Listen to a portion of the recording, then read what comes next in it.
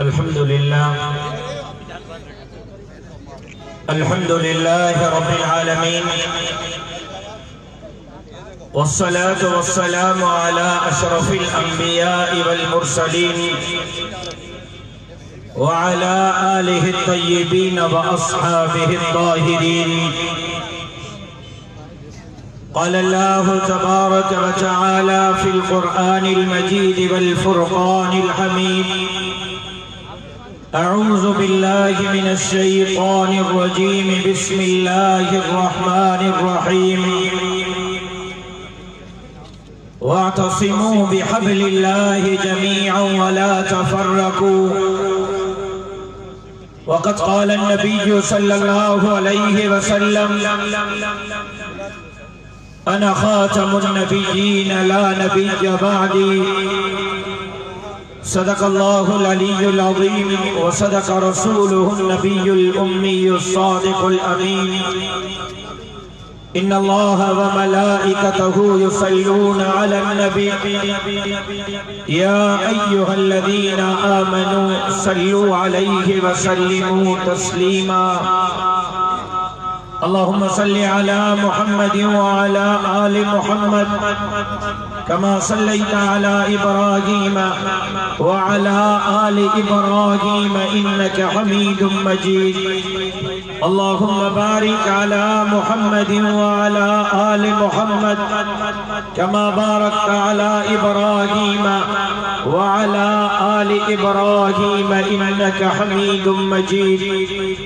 جناب صدر جلسہ، حضرت مولانا تاج محمد نعیم صاحب امیر جمعیت علماء اسلام ضلع حیدرآباد، برادر عزیز، برادر مکرم حضرت مولانا مفتی اسعد محمود صاحب، برادر عزیز انجینئر عبدالرزاق عابد لاکھو صاحب، اسٹیج پہ موجود اکابر علماء اکرام پنڈال میں موجود مجھا غیرت من جرت من دلیر، مجاہد ساتھیوں ماں کا پہریاں اکوڑا خٹکھا آئی اللہ ساجے جی معزز مہمان۔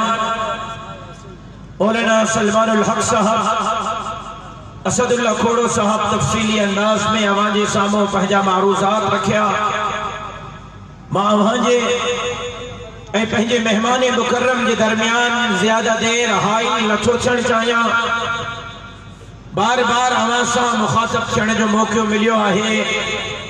زندگی رہی تا اکتے بھی انشاءاللہ پہنجی گفتگو تھیندی رہنی ماں چاہیاں چھو تا ماں پہنجو وقت، پہنجے بھاؤ جے حوالے کریاں تاکہ تفصیلی طورتے تمام فرزند قائد کے بدھی سگو۔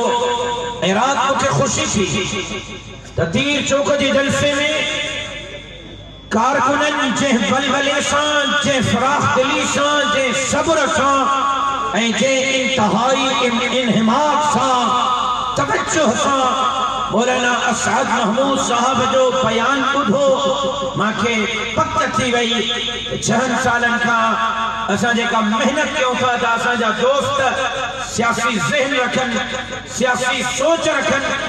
رات تیر چوک جے اسد محمود صاحب جے بیان میں عوام جو توجہ لگال کی خمازی کرے رہے ہو، تو جمعیت علماء اسلام سندھ میں ایک نئے سفر جے طرف گامزن آئے۔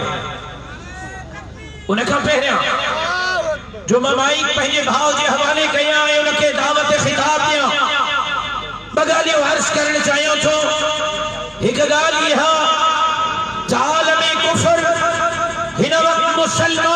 جذبات مجروح کرے رہے ہو ہے دنیا کفر ختم نبوت کے حملہ آورا ہے۔ جناب رسالت نام صلی اللہ علیہ وسلم کا کارچون خاقہ ٹھائے کرے۔